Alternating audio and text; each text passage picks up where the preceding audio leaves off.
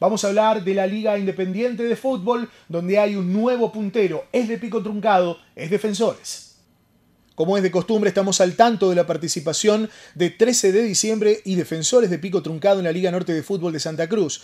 Es por eso que ambas instituciones estuvieron disputando sus respectivos cotejos en una nueva fecha de la competencia.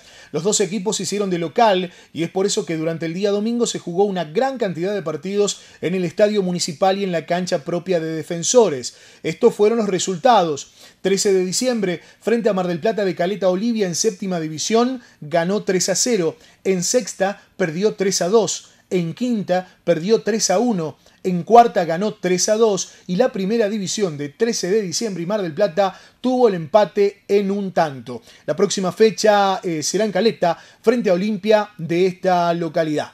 Y ahora sí vamos a hablar del puntero del campeonato, Defensores, que encabeza con 16 puntos, al igual que Estrella Norte, la tabla de posiciones de primera división, que ganó frente a Olimpia 7 a 1 en primera. 7 a 1. En cuarta división ganó el DF 4 a 0, en quinta 2 a 0 y en sexta ganó por 5 tantos contra 2. Estrella Norte y Defensores de Pico Truncados el gran choque del campeonato el próximo fin de semana. Precisamente estos dos equipos, Estrella Norte con mayor diferencia de gol, 17 a favor, eh, tiene los mismos puntos que Defensores de Pico Truncado, que también está primero con 16 puntos y con una diferencia de favor eh, de 12 goles. Más abajo están Olimpia Junior con 15 puntos, Talleres también con 15, Estudiantes de Caleta Olivia tiene 14, Estrella del Sur y 13 de diciembre de Pico Truncado tienen 12 unidades, Mar del Plata está con 10, Catamarca con 6 puntos, Marcelo Rosales y Deportivo Petrolero